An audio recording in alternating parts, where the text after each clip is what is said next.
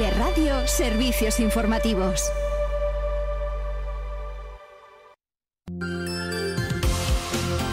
Caja Rural de Soria les ofrece el informativo de las 8 y 10 en Vive Radio.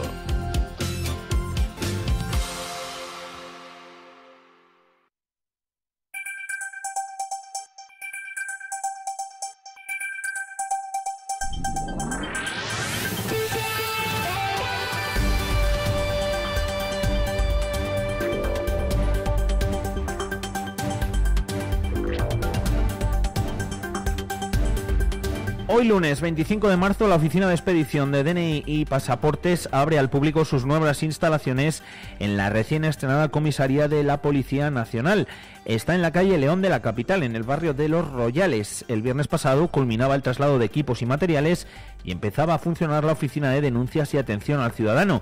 ¿Qué pasará con las viejas dependencias de la calle Nicolás Raval? El alcalde de Soria lo tiene claro. Carlos Martínez quiere que se destine a viviendas sociales y ya ha comenzado las conversaciones con el gobierno de España. En el momento que se produzca la desafección por parte del Ministerio del Interior para que eso pase a patrimonio del Estado y sabéis que es largo eh, proceso de esas características, ¿no? Pero yo creo que la zona centro es una zona, no sé si tensionada todavía, estamos analizándolo, pero sí que es una, es una zona en la que cuanto más podamos hacer vivienda en régimen de alquiler y patrimonio público de, municipal de, vivienda, pues, pues para mejor que mejor, ¿no? Para poder incidir en el abaratamiento de los alquileres. El edificio de la nueva comisaría comenzó a construirse en diciembre de 2021 y ha supuesto una inversión superior a los 9 millones de euros. Levantada en una parcela de 3.000 metros cuadrados, suma más de 5.000 metros cuadrados distribuidos en cuatro plantas y dos sótanos. Todavía no hay fecha para la inauguración oficial. Por cierto que en la Junta de Gobierno local del pasado viernes se daba cuenta de otra sentencia a favor del Ayuntamiento de Soria por el Cerro de los Moros. Esta vez el juzgado de lo contencioso administrativo desestima la reclamación de la sociedad Cerro de los Moros por una presunta ocupación ilegal en los terrenos de la actual depuradora, algo que se remonta 30 años atrás. La sociedad pedía 1,4 millones de euros, pero la justicia no le ha dado la razón y le condena a pagar las costas. Es previsible que presente una apelación y pueda recurrir al Tribunal Superior de Castilla y León. De nuevo, Carlos Martínez. Una mala praxis, un, mal convenio, un convenio lesivo para los intereses del ayuntamiento, que genera unas plusvalías importantísimas para la sociedad cerrada de los moros, ¿no? propiedad de una insigne familia de la ciudad de Soria, pues vuelve otra vez a estar de actualidad y el sector turístico roza el lleno en Semana Santa. Cuenta atrás para uno de los puentes más turísticos del calendario con la previsión de un lleno total en Soria. La campaña especial de Semana Santa empezó este mismo fin de semana con los primeros desplazamientos, aunque será a partir de este miércoles cuando los negocios turísticos reciban el grueso de las reservas que a estas alturas ya rondan cifras de entre el 85 y el 92%, según diferente tipo de negocio. No obstante, la previsión es que con las reservas de última hora se pueda alcanzar el 100% de ocupación, al menos durante las jornadas de viernes y sábado. Este año las expectativas son especialmente buenas y es que el turismo soriano se está posicionando muy bien y arrastra ya en meses eh, en positivo, de modo que hay una inercia que se espera se note también durante estos días. Aún así, desde el sector son conscientes también de que todo dependerá de la climatología, que a estas alturas, como hemos contado antes, amenaza con lluvia desde hoy mismo lunes.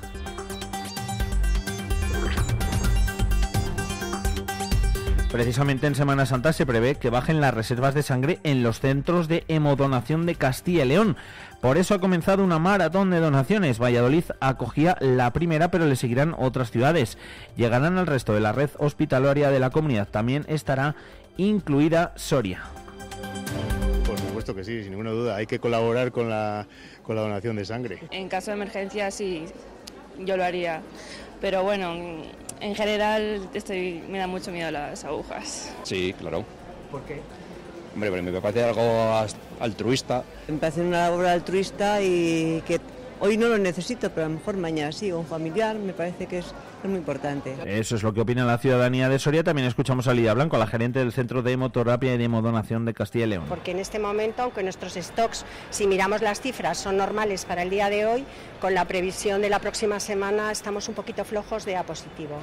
Desde luego, en el día de hoy seguro que, nos reponemos. Y Soria tendrá a partir de 2025 un centro de referencia a nivel nacional en formación sobre los usos y gestión de la madera en el sector de la construcción. Con un presupuesto que roza los 2 millones de euros, CESEFOR y Diputación llevarán a cabo la construcción del centro en una parcela del PEMA, en Garray, unas instalaciones en las que el CESEFOR desarrollará cursos de formación para profesionales de todo el país. El objetivo es trasladar la línea marcada por la nueva BAUS europea y el fomento del sector forestal en la construcción. Pablo Sabín es el director de CESEFOR. Vamos a, a intentar conseguir un, otra, otra maravillosa anomalía para la provincia de Soria, que es traernos aquí un centro nacional de referencia en construcción industrializada con madera. Nos vamos a ir a formaciones que van a, que van a ser muy express como las que tenemos ahora, pero en unas instalaciones muy buenas, que van a ser, ya os digo, de dos días a una semana, y seguramente lo completemos con una formación quizás más de hasta tres meses, dos, tres meses, para ya la especialización en, en construcción industrializada con madera. Y el Banco de Alimentos de Soria está bajo mínimos. El Balso deberá recibir aproximadamente la primera entrega del Fondo Europeo de Ayuda a Personas Más Desfavorecidas, pero no llegará tras la entrada en vigor de las nuevas tarjetas monedero. Preocupación, esa es la palabra que resume la sensación en el Banco de Alimentos de Soria ante la inminente entrada en vigor del nuevo modelo de tarjetas monedero aprobadas por el Gobierno para ofrecer productos de alimentación y otros productos básicos de primera necesidad a familias con menores a su cargo en condiciones extremas de vulnerabilidad. El nuevo sistema entrará en vigor el próximo mes de abril y reemplazará las tradicionales entregas de alimentos no perecederos que hasta ahora hacía el Banco de Alimentos al amparo del Fondo Europeo de Ayuda a Desfavorecidos. Hasta ahora el Ministerio de Agricultura, Pesca y Alimentación, a través del Fondo Español de Garantía Agraria, hacía cada año dos compras de alimentos que se entregaban a los bancos de alimentos asociados a la Federación Española de Bancos de Alimentos y a Cruz Roja. Ellos se encargaban de entregar después los alimentos a las organizaciones de reparto autorizadas que los distribuían de forma periódica a lo largo del año entre las personas más desfavorecidas. Bueno, pues la última entrega del Ministerio al Banco de Soria se hizo en noviembre y ya no hay más. Así lo decía el presidente del Banco de Alimentos de Soria, Óscar Arancón, quien además eh, se muestra a la expectativa de ver cómo se desarrolla la transición hacia el nuevo modelo de tarjetas monedero, cuya gestión asumirá este año excepcionalmente Cruz Roja.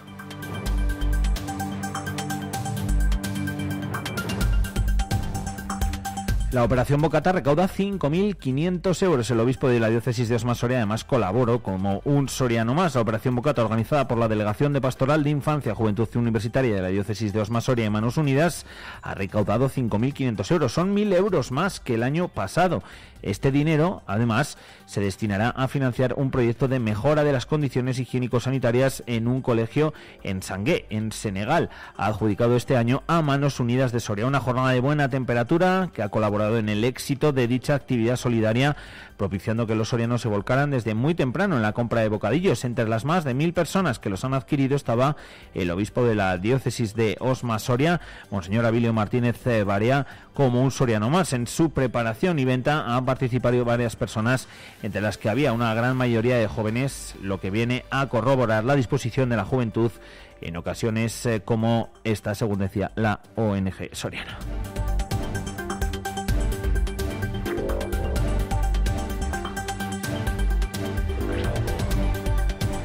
Mucha precaución al volante si van a viajar. Estamos en medio de la operación especial de tráfico de Semana Santa. En Castilla y León se prevé 1.800.000 desplazamientos hasta el próximo 1 de abril. En nuestra provincia serán 109.000 los desplazamientos previstos. Este dato supone un incremento aproximado de 200.000 movimientos sobre las cifras de 2019 y alrededor de 20.000 más que el año pasado con el conjunto de la comunidad. Los controles de la Guardia Civil, por cierto, se van a incrementar.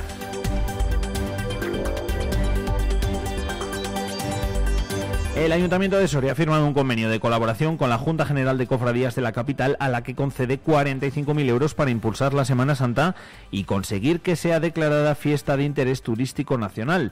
Ahora tienen la distinción a nivel autonómico. Hasta ahora la aportación municipal se limitaba a 4.000 euros anuales.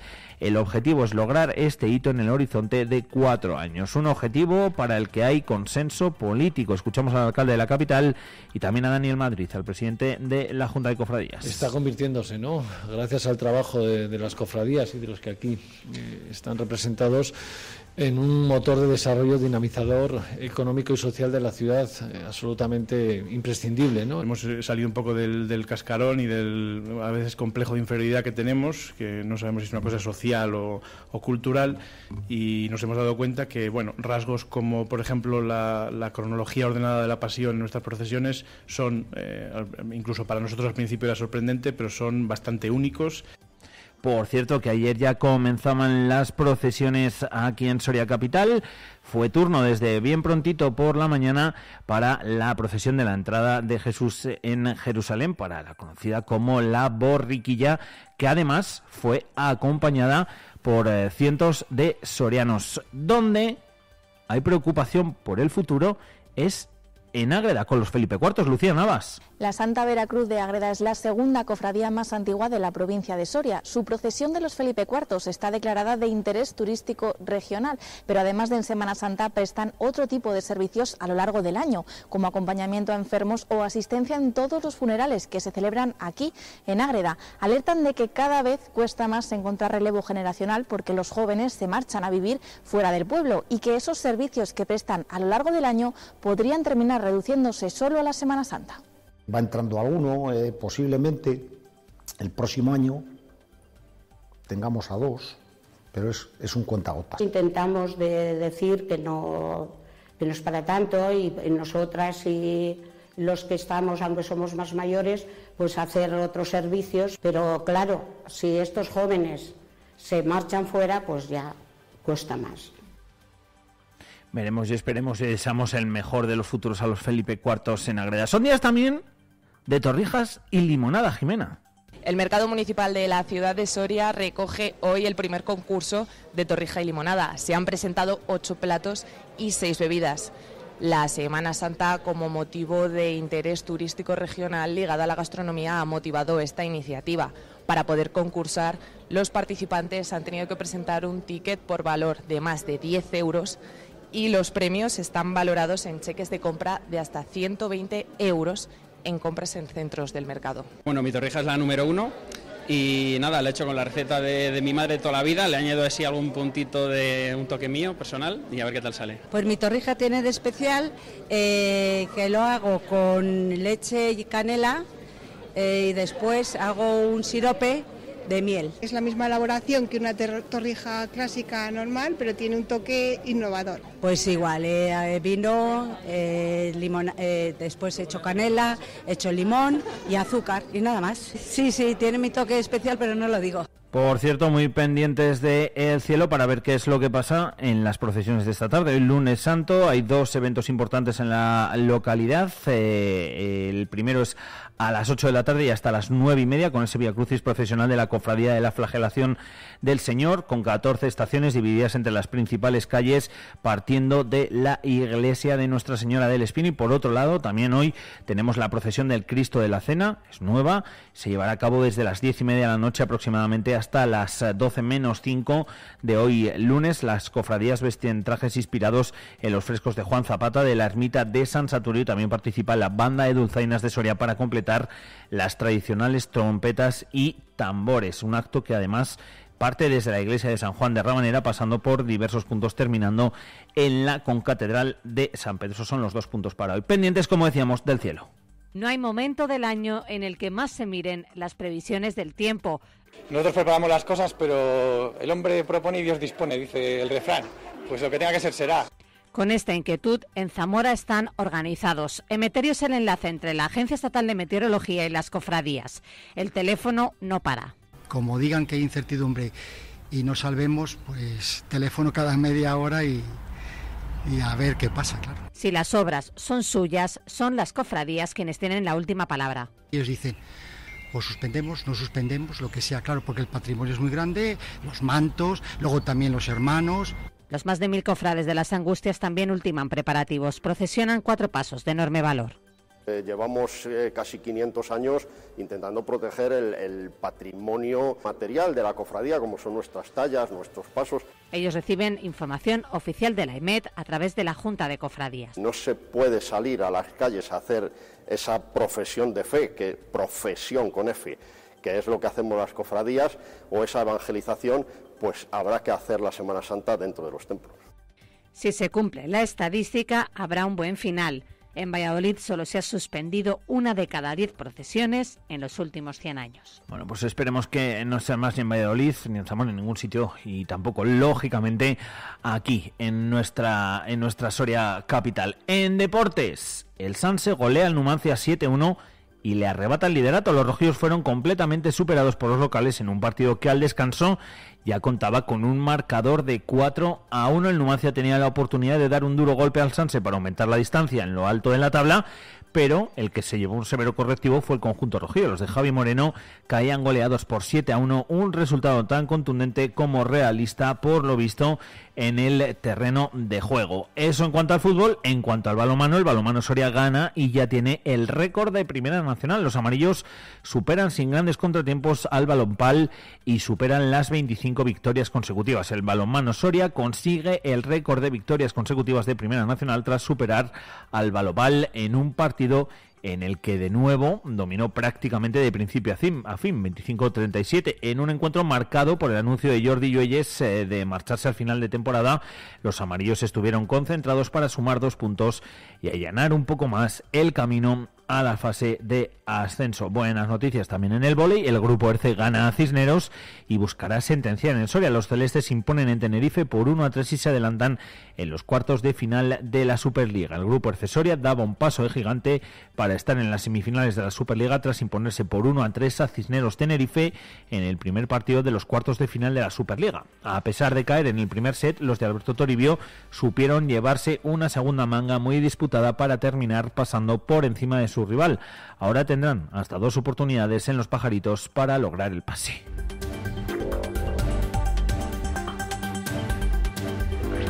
Un último apunte, la figura de José María Martínez La Seca y su pueblo almajano son los protagonistas eh, de los dos libros presentados la semana pasada en la Diputación de Soria. El primero de ellos es una edición de la revista de Soria que recoge la vida, logros y dedicación a su provincia del poeta soriano. El segundo lleva por título Almajano, encrucijada de caminos y cuenta la historia completa de su pueblo, un libro que pertenece a la colección Paisajes, lugares y agentes y que además incluye un anexo a través de un código QR. Mario Cuesta Lerma es el autor y Juan Ángel Martínez Laseca es hermano de José María. Los escuchamos. En él se, hace, se habla bastante de todo lo que tiene que ver con lo emocional. Hoy en día un término de moda, todo lo que tiene que ver con el mundo de los afectos, de los sentimientos, de las emociones. Si me permitís, concluyo ya esta intervención haciendo uso de nuevo de unos versos de su cosecha, como si él estuviera aquí presente. Tal vez yo nunca supe lo que quise, pero siempre he buscado que me quieran. Gracias por demostrármelo este día, por recargar mis huesos de energía para soñar la Soria prometida. Pues eh, con esas palabras terminamos el eh, repaso a las noticias más destacadas de la jornada. Cualquier novedad eh, o noticia de última hora que haya desde aquí a las 12 de la mañana os la contaremos en directo. Además os recuerdo que podéis seguir informados a las 2 y a las 3 de la tarde en la sintonía de Vive Radio. Ahora son las 8 y media de la mañana y tenemos más cosas. Los bibliobuses de la Diputación Provincial de Soria te llevan cultura, fantasía, educación, entretenimiento y todo lo que necesitas en forma de libro hasta tu localidad. Los bibliobuses de la Diputación recorren la provincia de Soria y llegan hasta tu municipio. Descubre todas las rutas en nuestra página web divisoria.es o en tu ayuntamiento. Bibliobús, aquí te espero mientras vuelves. Diputación Provincial de Soria.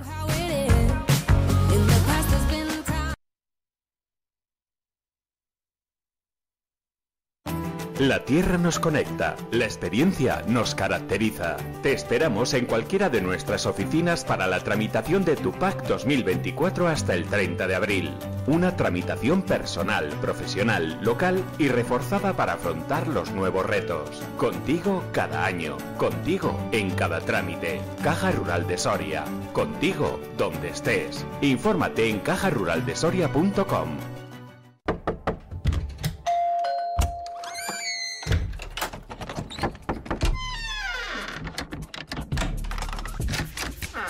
El universo digital de tus hijos e hijas es todo un mundo. Más puertas abres, más lo entiendes. Descubre cómo en FAD.es. Esto es Vive Radio. Siempre alegre, siempre positiva. ¿Y esto? La música que te de buen humor. ¿Y esto?